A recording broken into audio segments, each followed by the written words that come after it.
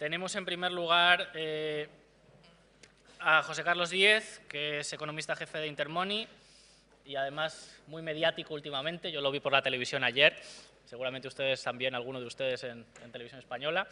Eh, y nos va a hablar de, la crisis, eh, de la, causa, naturaleza de la recesión, retos, oportunidades para empresas españolas y, en definitiva, de intentar entender, eh, como hemos hecho ya esta mañana, un poco en qué estamos metidos y cómo salimos de esta. Así que José Carlos, tienes el mando ahí donde el ordenador y yo te avisaré cinco minutos antes. En principio tienes 20 minutos. Muy bien. Bueno, buenos días, un placer, gracias por la invitación.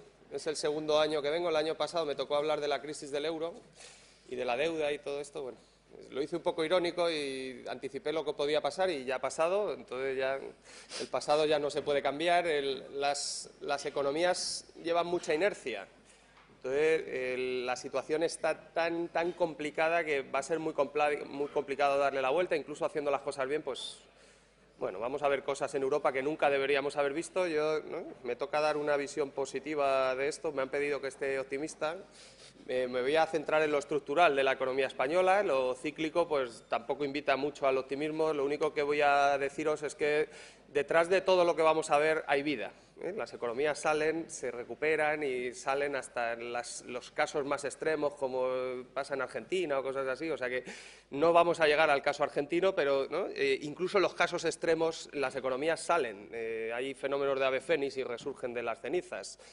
¿Qué, nos está pasando? Pues España está en, una depresión económica. Esto ya no es una recesión, fue una recesión hasta el verano del año pasado. Esta recaída te pilla sobre una economía que no había conseguido levantar el vuelo porque crecía por exportaciones, pero seguía destruyendo empleo y entre el 2007 y el final del 2013 esta economía va a destruir un 15% de empleo. Estamos hablando de, cifras que no se conocían en los países desarrollados y desde la Gran Depresión, por lo tanto, hay algunas ventajas, tenemos una prestación por desempleo, tenemos rentas básicas, hay las economías están más capitalizadas, aunque bajemos el gasto en educación, pues los edificios ya están hechos, o sea que el capital físico y humano está y, sobre esos eh, tú puedes estar con bajo crecimiento cayendo y mantener un nivel de renta elevado a pesar de, todo esto. Eso en, los países emergentes no pasaba, pero, pero la verdad es que la situación es muy complicada. Yo creo que el principal problema que tenemos, lamentablemente, después de cinco años es de diagnóstico y seguimos equivocándonos en la percepción, entonces yo voy a ir al diagnóstico y luego ya por las soluciones ya, bueno, ya tendremos tiempo de verlas. Eh, eh, eh, cuando el gobierno actual empezó en la campaña electoral a decir que ellos ya lo habían hecho en el 96 y eso, bueno, yo en las campañas a los políticos no les tomo mucho en cuenta porque, oye, ¿no? es el partido, tienen que ganar y uno sale ahí a ganar y a mí me parece bien. Yo no, ¿no? Pero es que, es que se lo han creído.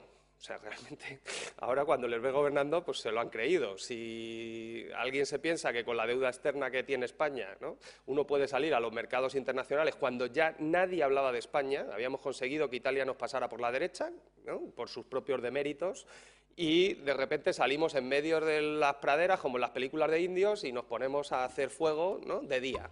Entonces los indios te ven. ¿no?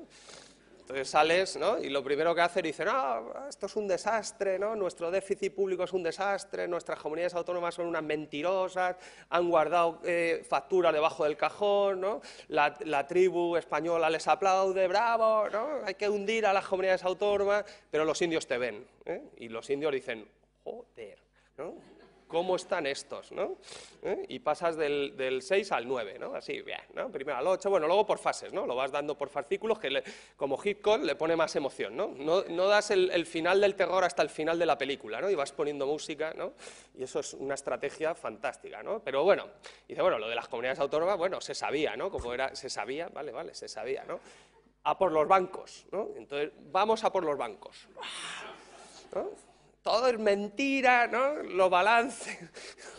es una cosa surrealista. Bueno, pues oye, estamos aquí, ya no, ya no se puede cambiar, ¿no? Es evidente, eh, por ponerlo sencillo, crédito viene de una palabra latina, inventaron los romanos, eh, viene de crede y se llama creer. ¿no? no nos cree ni Dios. ¿eh? Entonces, cuanto antes hagamos el, realismo y el diagnóstico, antes recuperaremos la confianza, porque no nos cree ni Dios. Eso es lo que marca la prima de riesgo, eso es lo que marca que haya fuga de capitales en España, que la gente está vendiendo la bolsa española hasta las viudas de los militares noruegos. O sea, en, la crisis del año 92, en el verano, salieron de España medio punto del PIB de fuga de capitales de inversores no residentes. Tuvimos que devaluar cuatro veces la peseta. En el mes de marzo ha salido el 2% del PIB, el 2%. Y ha dicho el ministro de Economía que eso no es una fuga de capitales. Bueno, pues llama X, como dicen en Galicia, me da igual, ¿no? Pero vamos, que, aquí, ¿no? Esto es como el incendio de Bambi, ¿no? Y salen todos espantados porque hay fuego, ¿no? Entonces, bueno, yo voy a intentar explicar que no hay tanto fuego, pero eh, vamos a hacer un poco de coaching nacional. Eh, primero, es que esto es que esto lo sabe cualquier empresario, y aquí hay muchos empresarios. Tú no puedes vender un producto en el que tú no crees. ¿Eh? Entonces, uno tiene que creer en el país, porque si no, ¿cómo vamos a pedirle a los inversores que nos compren bonos si no los compramos nosotros? Entonces, vamos a empezar por lo nuestro y a reconocerlo. Y, una vez que lo reconozcamos, luego, ya que le he dado a los políticos, vamos a darle a toda la sociedad, porque esto no es una crisis política, ni es una crisis fiscal, ni es una crisis, es una crisis de deuda privada de españolitos privados, como yo y como muchas empresas que se endeudaron y que le dieron un mandato a los bancos de que fueran a pedir el dinero fuera y ahora no nos presta ni Dios. Entonces, esto de degollar a los políticos está muy bien, pero que, bueno, te desahoga, oye, te deja muy tranquilo, pero que no te resuelve las crisis de deuda. Entonces, vamos, eh, uno esto ya se ha planteado y lo conté el año pasado y lamentablemente va peor. Eh, esto es una guerra por el crédito internacional. El crédito en el mundo se ha convertido en un bien muy escaso y, pues como en, los sitios de caladeros de pesca hay muy pocos peces. Entonces todo el mundo va por los peces y, ¿no? y hay una guerra. Entonces uno a las guerras ya va llorado de casa.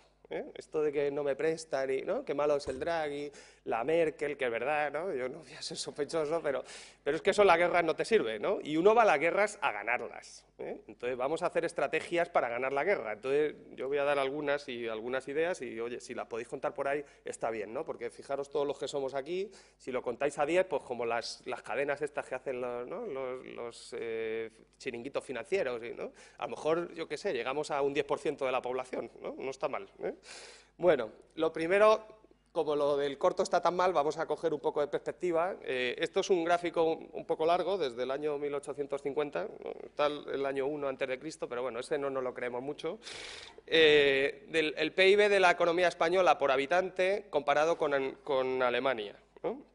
Hay alguna cierta erraticidad, Este pico de, allí, de aquí arriba se llama Hitler, que es conveniente recordarlo porque, oye, ¿no? En Alemania siempre lo tienen que tener presente porque es que se les olvida, ¿no? Pero este pico de aquí se llama Hitler, ¿no? Y metió al país en la depresión más profunda de la historia de la humanidad, ¿no? Quitando ese errático, ¿no? Vamos a suponer que ya no va a haber más Hitler en Alemania, que es poco probable, ¿no? Eh, después eh, ellos salen con un plan Marshall y ayuda internacional, nosotros salimos a pulmón, ¿no? Muy franquista, muy gallego y muy a lo bestia, ¿no? Y yes we can, y, ¿no? Pero pobres. ¿eh? En el año 1959 eh, o 1957 mejor, eh, España tenía una diferencia de renta por habitante de 60 puntos porcentuales con Alemania. Esa es la diferencia que tiene hoy Bulgaria y Rumanía, ¿eh? por, centrarnos. De repente, gente poco sospechosa del Opus Dei ¿no? se acercan al generalísimo y le dicen, oiga, es que no nos quedan reservas de divisas.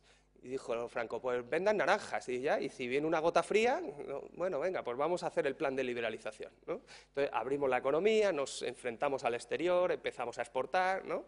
Hemos estado eh, cerquita de coger a Alemania. Es verdad que los alemanes nos han ayudado porque han mezclado con lo del este y les ha salido la mezcla un poco más guarra, ¿no? o sea, ha bajado la media, pero bueno, oye, estamos ahí. Si quitas, no, tampoco por no engañarnos, si quitas solo los landers del oeste, a España todavía le queda un, trecho por llegar, ¿no? Pero, pero, bueno, el crecimiento es espectacular. ¿eh?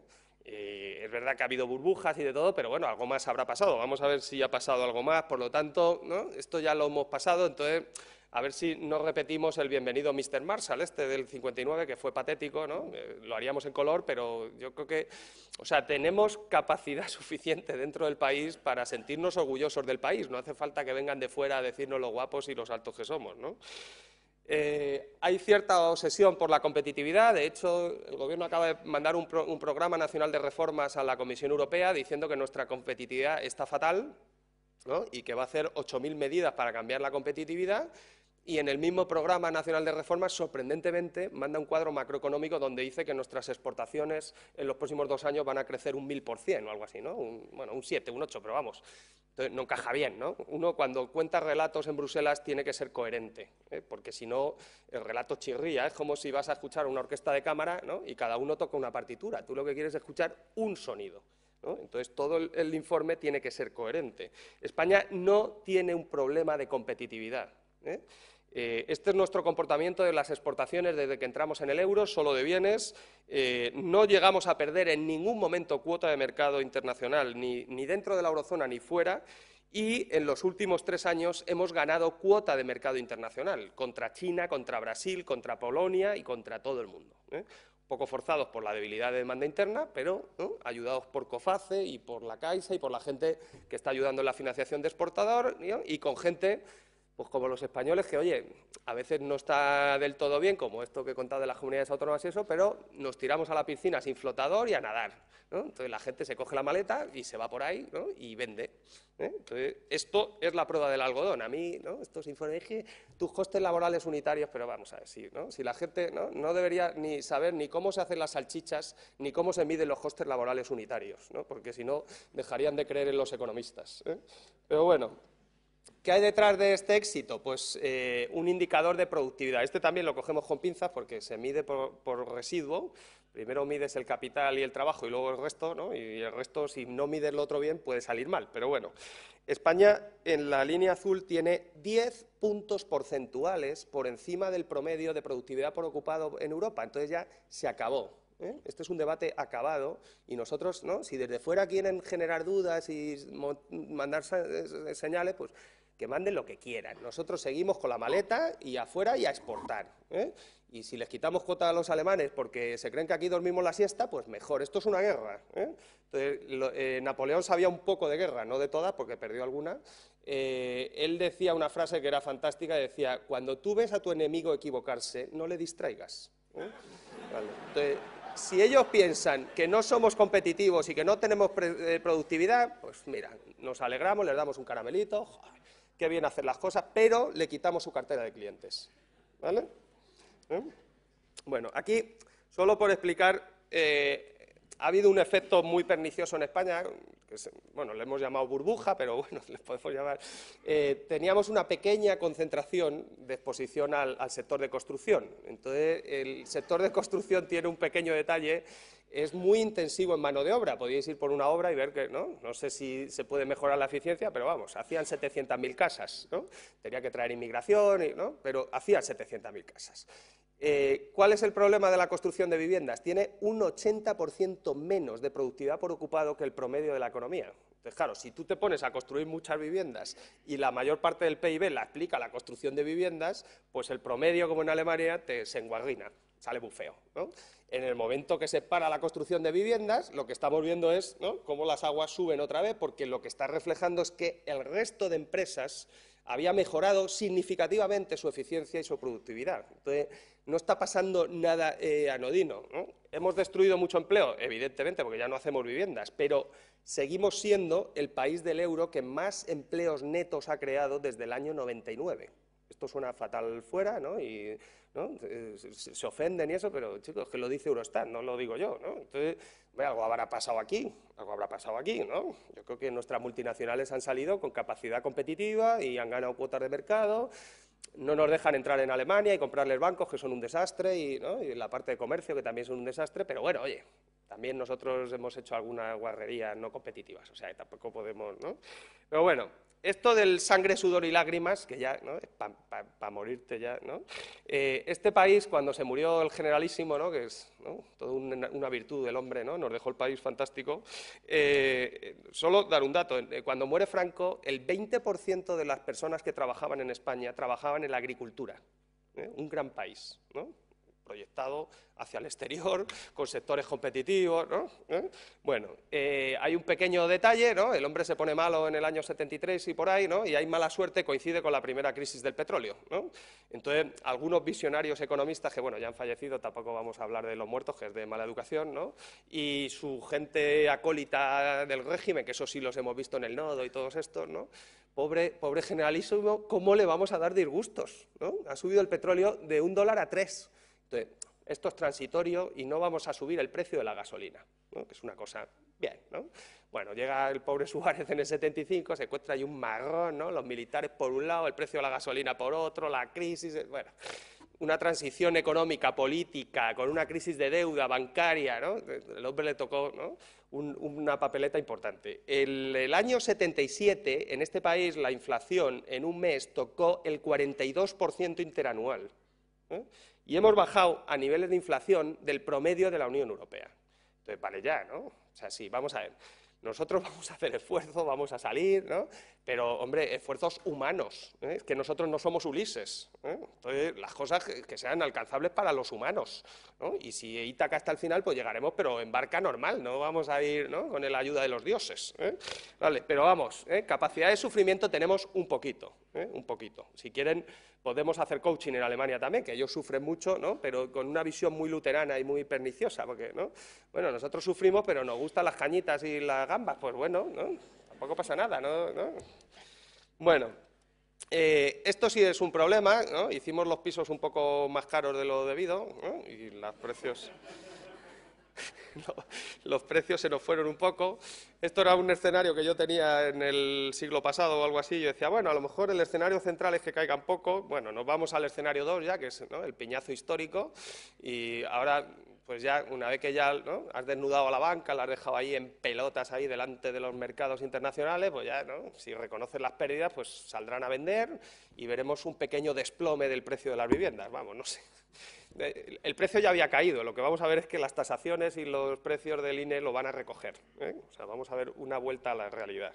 Eh, esto te genera un pequeño problema, porque, claro, cuando tú te endeudas, que es el siguiente, la siguiente diapositiva, lo haces para invertir en un activo. Entonces, es muy importante los precios de la deuda y los precios del activo. Te has equivocado ¿no? endeudándote mucho para comprar activos que han perdido valor y eso lo que hace es bajar el valor del balance y, hay, que poner, hay que poner cash. Entonces alguien tiene que entrar con el equity y, ¿eh? está bien esto del gobierno anterior de que la crisis no iba a costar nada a los contribuyentes. El gobierno actual hasta hace dos semanas decía que la crisis no iba a contar nada a los contribuyentes y esta visión paneuropea de la gestión de resolución de crisis bancarias en Europa dice que la crisis no va a, costar nada a los contribuyentes. Pues muy bien, nos alegramos. Sí va a costar a los contribuyentes y mucho dinero. ¿eh? La del 79 costó el 6% del PIB, yo creo que esta es peor, pues eso, esto que están hablando, pues un 8, un 9, pues bien, ¿no? Oye, ¿eh? es asumible, ¿eh? yo creo que no es el fin del mundo, ¿no? pero digerir un 8, un 9% de PIB en deuda de, saneamiento bancario, pues pues como la digestión, las boas constrictos se comen los conejos, pero les lleva un tiempo, ¿no? Y tardan, ¿no? Bueno, esta es la deuda y ya acabo, ¿no? Eh, esta es el endeudamiento de España con el exterior solo en bonos. ¿eh? Si pones el total es mucho peor. Eh, ah, no, este es el total ya, ¿no? Perdón, perdón. bueno, la línea azul es lo que debe la banca a corto plazo. La línea roja es lo que debe la banca a medio plazo y largo plazo y la verde es todo lo demás. La deuda pública no es mucha, en la, parte de la, verde hay algo de la banca también porque van titulizaciones. Bueno, nuestro querido sistema bancario debe al exterior 800.000 millones de euros. 400.000 ¿eh? están a corto plazo y 300.000 ya se los hemos enchufado al Banco Central Europeo. Entonces, hombre, cuando escuchéis hablar a Draghi, no penséis que es el presidente del BCE, pensar que es nuestro principal acreedor. ¿eh? porque le debemos 300.000 porrazos. ¿eh? Entonces, el tío, pues supongo que tendrá un esguincer en el esfínter o algo así, porque dirá, madre mía, ¿por qué? ¿no? Como estos tíos. ¿Eh? Pero es que si no, no se entiende todo esto, porque claro, es que lo ves desde dentro y, ay, qué mal nos tratan. Bueno, es que ya les hemos enchufado 300.000, que no está mal, ¿no?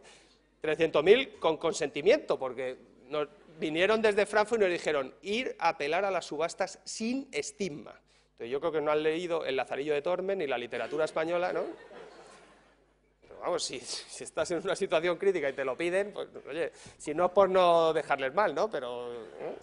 bueno, eh, ¿cuál es el problema de esto? Pues que si se renueva, sobre todo en euros, y los mercados estuvieran accesibles y pues yo creo que la mayor parte de estas deudas se pueden pagar, no todas, pero ¿no? Eh, en España, al ser deuda privada, es más sencillo. Yo esto lo he contado en Alemania y les tiemblan las janillas, ¿eh? pero la deuda privada se resuelve en los juzgados de la Plaza de Castilla. Tú vas, pones un proceso concursal, oiga, que no tengo pasta. El juez te valora el activo, reparte y hay algunos compromisos legales, pues con depósitos de, españoles y eso, que eso siempre se pagan, ¿no?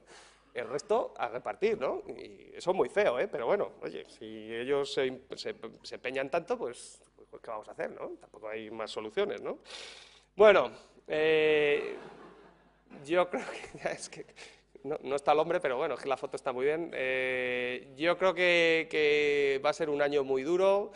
Eh, mi pretensión aquí es, ser realista y prepararos. Eh, yo, creo que esto solo se resuelve con cada uno de nosotros. Si lo va a resolver el gobierno, pues vamos mal, da igual que fuera este o cualquiera, porque también son seres humanos, son políticos, no les podemos pretender y yo lo único que espero es que, por lo menos ese orgullo de país y de sentirnos de que nuestras empresas son buenas y que sabemos competir y que nuestra gente, aunque podamos mejorar la universidad, nuestras universidades son buenas y que yo en cursos de licenciatura doy cosas que en Estados Unidos se enseñan en el doctorado y que pues todas estas chorradas, que es que vamos a acabar con la autoflagelación, que es el deporte nacional, y a ver si resolvemos la crisis. Muchas gracias.